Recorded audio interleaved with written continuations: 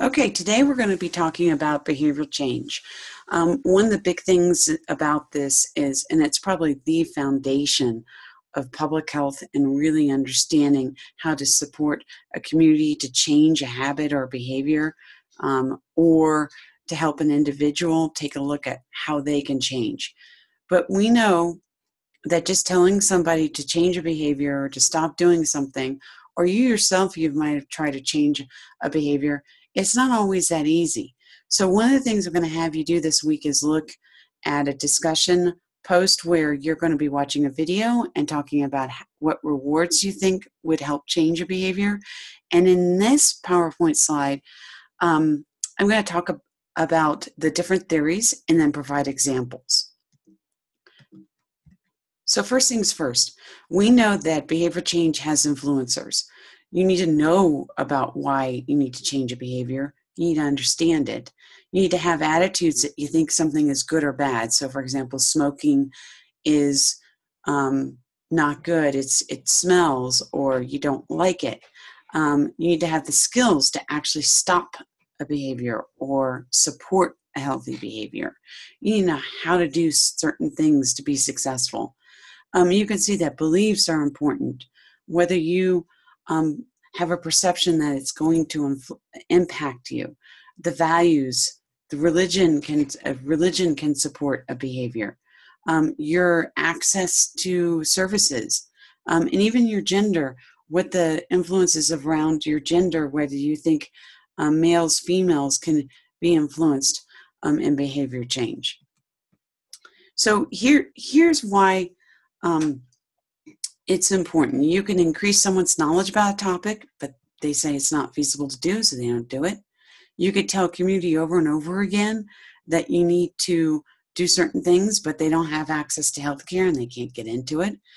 Or you could sit there and say, hey, you know, for example, they did um, uh, research on a, a group of um, people who showed criminogenic and antisocial behaviors, and you could tell them, you can increase your self confidence, but people can have this tendency to be aggressive and you keep on pushing one thing, but it really shows that it does not change behavior. So you really need to kind of look at each um, behavior and really understand what will really make a difference. Um, I put this website on here, Meth Change, the way I look at it. And if you go to methproject.org, you will see some really intense public service announcements. And what they found was is that this shocking, these shocking, intense meth change PSAs changed people's behavior. But then after a while, they saw it just increase again and, and go up or just start to go back where it was. Why is it? And what they found was is that people got used to the shock of it, but then they did they got kind of immune to it and they and they didn't it just kind of they got used to seeing the public service announcements and the shock value didn't have a long-term impact. So go out to this methproject.org and take a look at some of those videos and think why is it that these videos started to lose their impact? Um, so you need to think that behavior change can come within or can be influenced by what people think on the outside.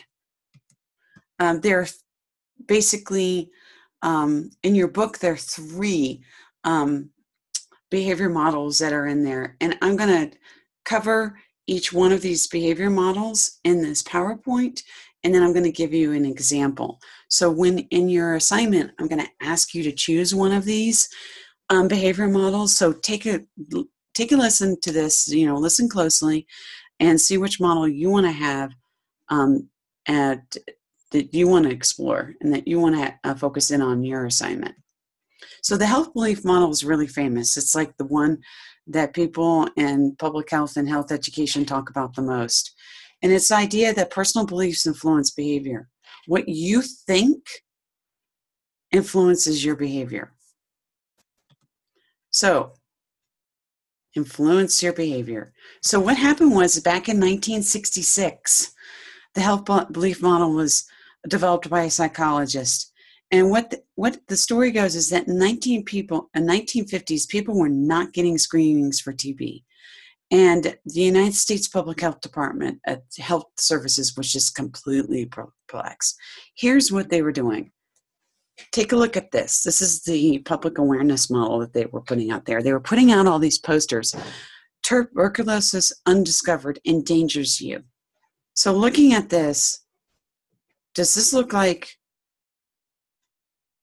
people need to be worried about tuberculosis? families happily reading a newspaper? Hmm. So the idea was is that the model that came up was that people need to perceive the health belief model has these different components. People need to perceive that something's going to happen to them, like they're susceptible.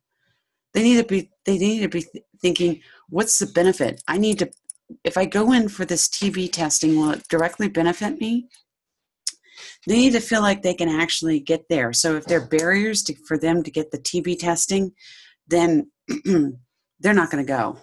And then finally, they need to think that that getting TB it could possibly be fatal or it could be serious. So they started to rechange take a look at this model and they they changed their their um, their awareness and their um, campaign based on these these different areas. So you also need to have a cue to action. Like you need to have something to cue you. Like um, you need to go get this this test right now, and then people need to feel like they can actually do something about like they personally they have the ability to do something. Self-efficacy this belief where you can make a difference you can change something. So look at this perceived susceptibility. This is what as a father sees throwing a child this is how the child sees it and this is how the mother sees it.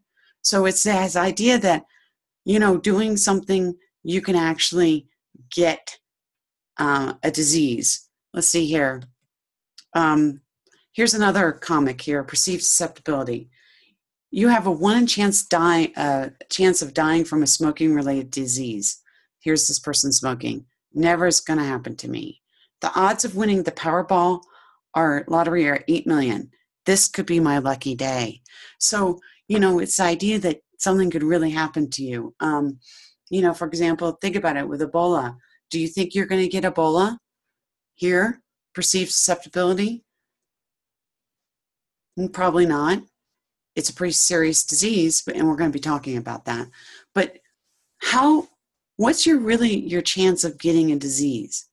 If you really think you're going to get something, you're going to be more prone to action perceived seriousness. Now, as I alluded to this with the Ebola example.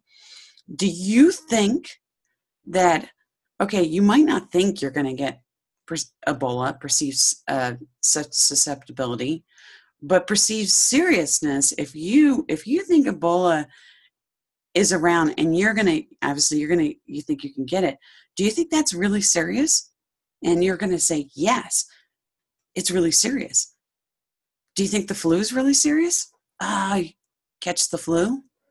Yeah, you can catch the flu. Could you die from the flu? Yes, you could die from the flu. But maybe people have a look, they might not perceive it as being as serious as the Ebola. So that's really important. People need to think that the disease is really serious. So you could take a look at these meth projects.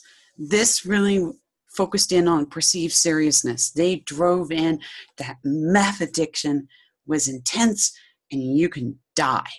But after a while, people started to think, eh, and they stopped thinking it was perceived seriousness. So people can really change their belief system on how serious they think a disease is.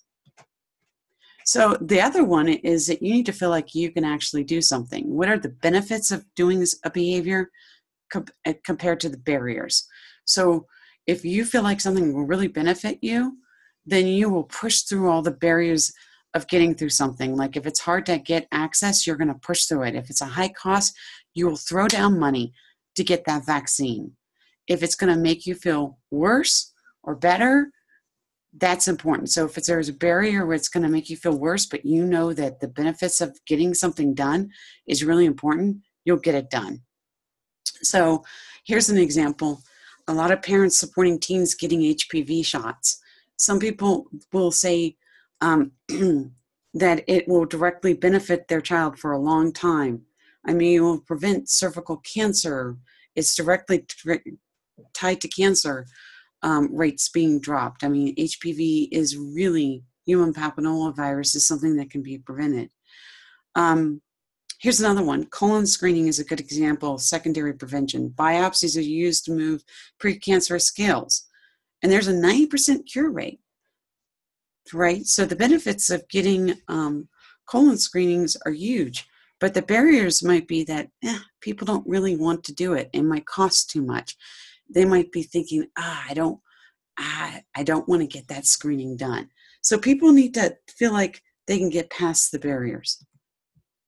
So the other thing is, is that you know people need to feel like you can change things. There, these are variables that can change. You can you can make it culturally acceptable to go get a colon screening. You could increase education levels so people feel like, hey, you know, it's it's a perceived benefit. They past experiences really can make someone feel like they can do something or not. The skill and then of course motivation. So people need to have cues to action. This is a big thing with health belief points. You need to have like a cue. Did you wash your hands? There's a sobriety checkpoint ahead. There's no smoking in this area. The speed limit's 55. So this is a cue to action that someone did in another country. So, you know, obviously 999 is not our country. But your chest is tight. That's a cue to action. You can't breathe. You need to call emergency. You're getting pain you need to do something. That's a cue to action. So, do you believe you can actually do this? Right? Can you call 911? Can you make something happen? Okay. So, with the health belief model, you need to perceive that something is susceptible that you will actually get a disease that it's you can do it you need to have a perceived seriousness that if you get this disease you will die. um, you, modifying factors, there are things that can support you um, in believing that something is serious. Cues to actions, there are things around the community saying, go get tested. People are telling you you need to do something. You see a family member get sick and you think, I need to do it. Or your doctor says, hey, let's get you screened. So, all these things will influence you actually taking making a difference and doing a behavior. So, perceived susceptibility, perceived seriousness, both of these things, what people are saying you and, and saying to you in a community, all these things can say, yes, you need to do this change. It will influence how you think. That's the health belief model. Okay, so example with the health belief model is that um, if you decide to do this one, you say, um, let's take smoking, for example. You feel like you're susceptible of actually getting lung cancer by smoking. You think lung cancer is extremely serious and you could die from it. You have everyone in your in your cue to action, everyone in your um, you know, got public service announcements telling you to quit. People are telling you to quit. You saw one of your family members get sick and and and it was awful with to see them go through lung cancer and your physicians told you that you need to quit okay you now have in your community all these cues telling you you need to change and you think it's important to take this change you go in you go cue to action you actually now have decided to do the cessation classes and you are now on the nicotine patch all those things support your change that's a good example right there. Next is the social cognitive model. And this is quite simply that, you know, your environment and how you think influence your behavior. So let's say now let's take the same smoking example. Everyone in your in your social environment does not smoke now. Everywhere. You go to campus now, you can't smoke. It's against the law your inner feelings about whether you believe you can change this um, habit, but you've decided now, I can quit smoking. So now it influences your behavior. Those two things directly influence the behavior. So here's a perfect example. I, I brought you through it with smoking. Same thing can be said with physical exercise. your whole social environment. Everyone's walking and jogging around you. Everything is influenced by that. And then your personal behavior says, hey, you know, jogging, um, biking, hiking makes me feel good. And then you have places where you can actually go biking and hiking. Okay. So that's how that works. The next one is um, the trans-theoretical model. And this is the idea that people go through stages of change. And you can actually think about this with the behavior that you have. You have something called pre contemplation where you think about it, but you don't do anything. And you think about it for a long, long time. And you might say, hey, I need to join a gym. But then you never really do anything about it.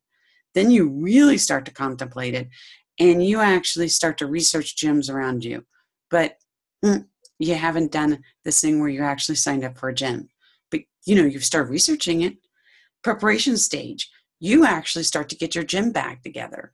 You uh, go in and you check around and you take a, a tour of the gym. Boom, action stage. You actually sign up for the gym and you go to two classes. You're moving into action stage and you're there. It's a great place to be. Maintenance stage means that you just don't go one week. You now make this a habit. And every week you go to the gym and you have habits.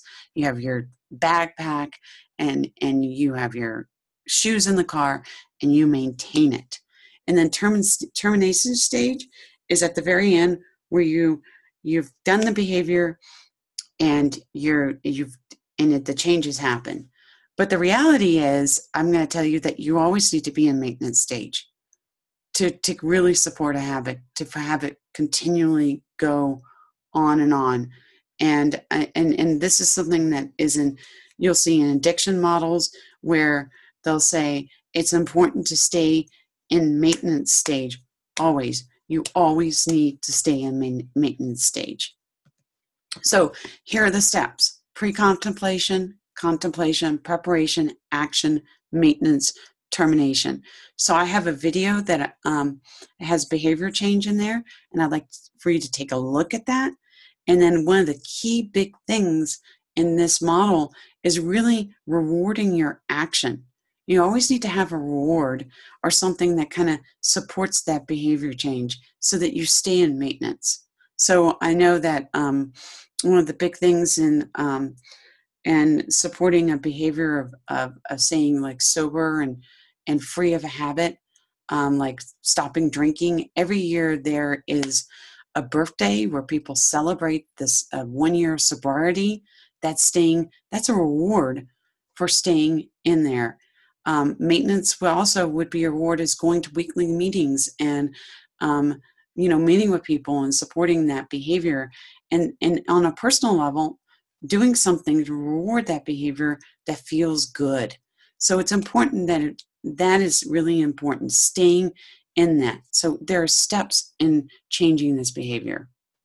And that is the end of my slideshow. So what I want you to do right now is I want you to go back out and choose one of the behaviors um, that I um, talked about and actually talk about how you'd go through that behavior change and then um, and then talk about a reward to support that behavior. If you have any questions, please uh, post them in FAQs and um, feel free to, to ask them. The more questions, the better. Thank you and have a great week.